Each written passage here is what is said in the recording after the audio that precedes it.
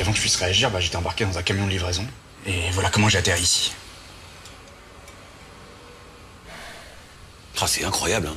Hein T'entends ça, chérie? Ah oui, c'est fou.